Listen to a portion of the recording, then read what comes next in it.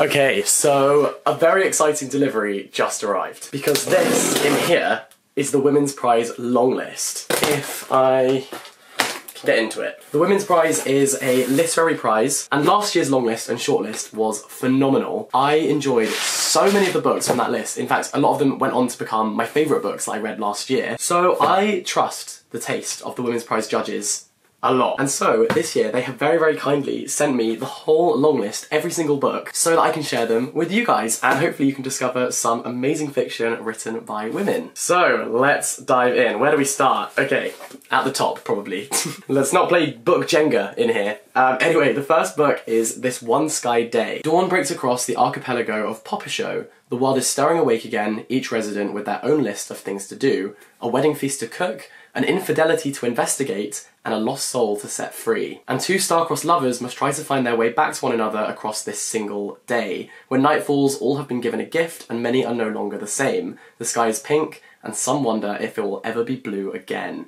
Oh, that's a good closing line of a blurb. Okay, you got me. I, I want to know what happens. I really like books that are written over the course of one day. I feel like you really get to know a character in that time. Makes me think of like A Single Man, Mrs. Dalloway. I really like um, that kind of style. So interesting. Described as dazzling, haunting, gorgeous, and stunning. Next up, okay, I've seen this book everywhere. This is the final revival of Opal and Nev. Opal is a fiercely independent young woman pushing against the grain in her style and attitude, a black punk artist before her time. Despite her unconventional looks, Opal believes she can be a star, so when the aspiring British singer-songwriter Nev Charles discovers her one night, she takes him up on his offer to make rock music together. Now listen, I really enjoyed Daisy Jones and the Six. I loved the um, style of like following a band and a music star. I feel this probably isn't the same, but I'm intrigued to read it. So it says, in early 70s New York City, just as Opal's finding her niche as part of a flamboyant and funky creative scene, a rival band signed to her label brandishes a Confederate flag at a promotional concert. Opal's bold protest and the violence that ensues sets off a chain of events that will not only change the lives of those she loves, but also be a deadly reminder that repercussions are always harsher for women, especially black women, who dare to speak their truth. Okay, cannot wait to read that. That sounds incredible. And what a great book to then be nominated for the Women's Prize. Awesome. Da -da -da. The Exhibitionist. By the way, guys, kind of losing my voice. Did I go clubbing? Yes, maybe, possibly. So if I get a little squeak every now and then, say nothing. Say nothing at all, thank you. I'm struggling to read this font, I'm not gonna lie to you, but it says, Meet the Hanrahan family, gathering for a momentous weekend as famous artist and notorious egoist Ray Hanrahan prepares for a new exhibition of his art the first in many decades, and it's also one he's sure will tarnish his reputation for good. His three children will be there beautiful Leah, always her father's biggest champion, sensitive Patrick, who has finally decided to strike out on his own, and insecure Jess, the youngest who has her own momentous decision to make. And what of Lucia, Ray's steadfast and selfless wife? She is an artist too, but has always had to put her roles as wife and mother first. What will happen if she decides to change? For Lucia, did I say Lucia before? Lucia, I think probably pronounced Lucia, is hiding secrets of her own, and as the weekend unfolds and the, exhi- and the exhibition approaches, she must finally make a choice. Dun dun dun! What is next? This is Salt Lick. Britain is awash. The sea creeps into the land, brambles and forests swamp derelict towns. Food production has moved overseas and people are forced to move to the cities for work. The countryside is empty. A chorus, the herd voice of feral cows, wander this newly wild land watching over changing times, speaking with love and exasperation. Is this is this from the cow's perspective? Jesse and his puppy, Mr. Malix, roam the woods until his family are forced to leave for London. Lee runs from the terrible restrictions of the White Town where he grew up. Someone else leaves London on foot, walking the abandoned A12 in search of the truth about her mother. You know, I kind of don't enjoy when blurbs just list a bunch of characters because I just forget straight away. I think this is going to be kind of about the pastoral um, and the countryside and the natural world and what it's like once humans have kind of departed it. Is it going to be the first pick that I gravitate towards from the selection? Probably not, but hopefully I'll get around to it at some point. Oh, this is chunky. Remote Sympathy. Not convinced by that cover, not gonna lie. It, this looks like it's going to be non-fiction. Obviously I know it's not, but that cover is um, more I would associate with a non-fiction book. Let's see. And maybe the font as well, and the colours, I don't know. Anyway, um, a novel of devastating beauty that will leave readers shaken and exhilarated. That cover doesn't give me shaken and exhilarated, but let's not judge a book by its cover. If I've learnt one thing, it's that. Moving away from their lovely apartment in Munich isn't nearly as wrenching an experience as she had feared. Their new home is even lovelier than the one they left behind. The best of all, right on their doorstep are some of the finest craftsmen from all over Europe. All the officers' wives living in this small community can order anything they desire, whether new curtains made from the finest French fabrics or furniture designed to the most exacting specifications. Life here would appear to be idyllic. I'm gonna take a little guess and say it probably isn't. I feel there's a twist coming. Let's see. Lying just beyond the horizon that surrounds them, so close and yet so remote, is the looming presence of a work camp. Oh, I see. So her husband is an SS officer, and he is to take up a powerful new position as the camp's administrator. As the prison population begins to rise, the job becomes even more consuming. Corruption is rife at every level, the supplies are inadequate, and the sewage system is under increasing strain. A tour de force about the evils of obliviousness, remote sympathy compels us to question our continuing and willful ability to look the other way, in a world that is once more enthralled to the idea that everything, even facts, truth, and morals, is relative. Okay, you know what? After that first paragraph of the blurb, I was like, mm, I'm indifferent. Now I want to read it. That does sound really quite good. Okay, let's judge more books by their covers. The Bread the Devil Knead. Is that how you say that? I think so. I think because it says bread, I wanted to say the bread the devil Ned. I think it's need. Yeah, if there's one thing the Great British Bake Off has taught me, it's that that word is pronounced need. Alethea Lopez is about to turn 40. Fashionable, feisty, and fiercely independent, she manages a boutique in Port of Spain, but behind closed doors she's covering up bruises from her abusive partner and seeking solace in an affair with her boss. When she witnesses a woman murdered by a jealous lover, the reality of her own future comes a little too close to home. Bringing us her truth in an arresting, unsparing Trinidadian voice, Alethea unravels memories repressed since childhood and begins to understand the person she has become. Her next step is to decide the woman she wants to be. Wow, that is a banging blurb. Okay, amazing. That sounds really good. Okay, amazing. And I don't think I've ever read a book about Trinidad, so I'm really intrigued by that. Great, okay. Oh, this is a book I've seen everywhere. This is The Island of Missing Trees. I have noticed this um, new trend of making covers like this, where it's like half a page or missing a little bit. I don't know how I feel about it, but that is a very, very nice cover. In 1974, two teenagers from opposite sides of a divided Cyprus meet at a tavern in the city they both call home. The tavern is the only place that Costas, who is Greek, and Defne, who is Turkish, can meet in secret, hidden beneath the leaves of a fig tree growing through the roof of the tavern. This tree will witness their hushed, happy meetings and will be there when the war breaks out and the teenagers vanish. Decades later in North London, 16 year old Ada has never walked the island where her parents were born. She seeks to untangle years of the family silence, but the only connection she has to the land of her ancestors is a fig tree growing in the back garden of their home.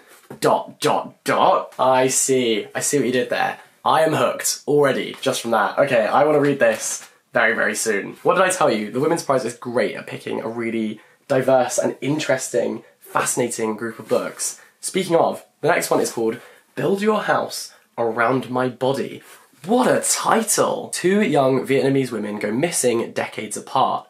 Both are fearless, both are lost, and both will have their revenge. So we have 1986 and 2011, and two women whose fates are inescapably linked, bound together by past generations, by ghosts and ancestors, but also bound together by the history of possessed bodies and possessed lands.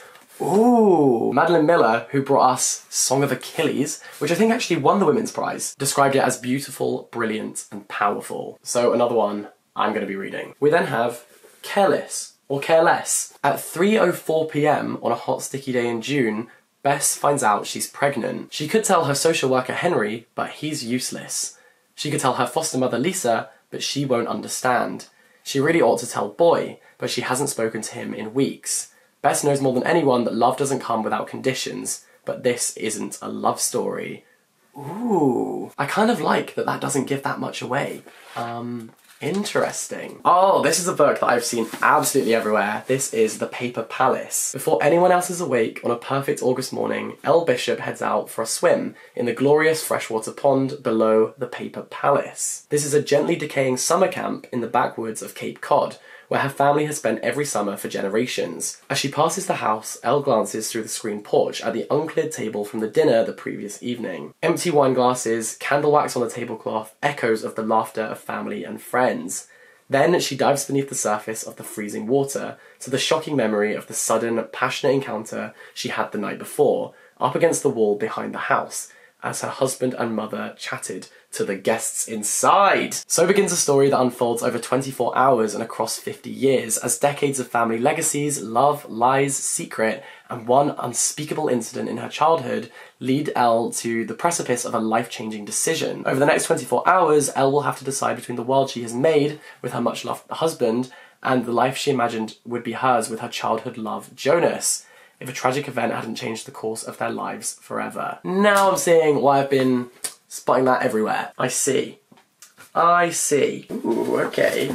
Um, do you know, it's so satisfying having hardcover books. This is Creatures of Passage. It's about a taxi driver of sorts in Washington, D.C. Oh, wait a minute. that's what my t-shirt says. Maybe that's a sign that I should read this one first. I, I don't know. Ferrying ill-fated passengers in a haunted car with a ghost in the trunk. Endless rides and alcohol help her manage her grief over the death of her twin brother, who was murdered and dumped in the Anacostia River. When the novel opens in 1977, her 10-year-old estranged great-nephew, Dash, finds himself drawn to the banks of that very same river, has charmed conversation with a mysterious figure he calls the Riverman, who somehow appears each time he goes there. There's a lot happening here. Is it like a ghost story? When Dash arrives unexpectedly at the door one day, bearing a cryptic note about his unusual conversations with the Riverman, she must face both the family she abandoned and what frightens her most when she looks in the mirror. This beautifully threads together the stories of the taxi driver, Dash, and others, both living and dead. It's a deeply captivating novel which shows us an unseen Washington filled with otherworldly landscapes, flawed superhumans, and reluctant ghosts, and brings together a community intent on saving one young boy in order to reclaim themselves.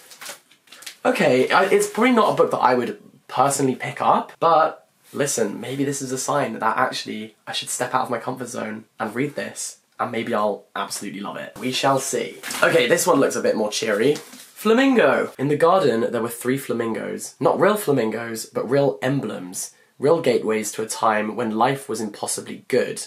They were mascots, symbols of hope, something for a boy to confide in.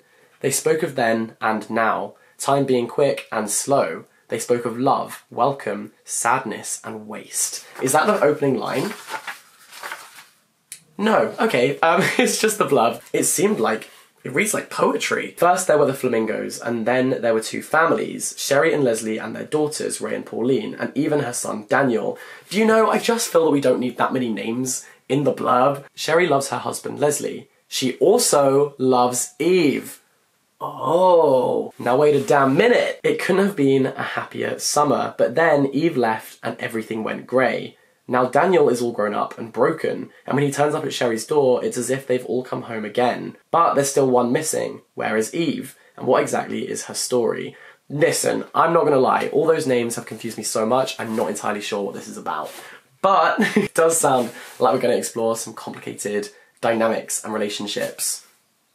Cool. Next one, The Sentence. Pulitzer Prize winning author of The Night Watchman. Oh, this is her latest novel, The Sentence, which asks what we owe to the living, the dead, to the reader, and to the book. That sounds very meta, and not in like a scary Facebook way. Oh, it's about a small independent bookstore. You got me. You got me. Which is haunted from November 2019 to November 2020 by its most annoying customer, Flora Okay, now it's about ghosts, I'm not so interested. like a haunted bookstore? Guys, this could have had such a better cover. I feel that this cover is not doing that concept justice. But anyway, so it's about Flora, who died on All Saints' Day, but she simply won't leave the store. Tookie, who has landed a job selling books after years of incarceration that she survived by reading with murderous attention, must solve the mystery of this haunting while at the same time trying to understand all that occurs in Minneapolis during a year of grief, astonishment, isolation, and furious reckoning. Hmm, okay. I'm not convinced by that, not gonna lie. But you never know, I'm always willing to be surprised. Um, this is a big one. The Book of Form and Emptiness. Oh, what a spine! Look at that! Damn, I would replace my own spine with that. How funky is that? Okay. One year after the death of his beloved musician father, 13 year old Benny O begins to hear voices. The voices belong to the things in his house a sneaker, a broken Christmas ornament, a piece of wilted lettuce. Although Benny doesn't understand what these things are saying, he can sense their emotional tone. Some are pleasant, a gentle hum or coo, but others are snide, angry, and full of pain. When his mother develops a hoarding problem, the voices grow more clamorous. At first, Benny tries to ignore them, but soon the voices follow him outside the house, onto the streets, and at school, driving him at last to seek refuge in the silence of a large public library. This is where the objects are well behaved and known to speak in whispers.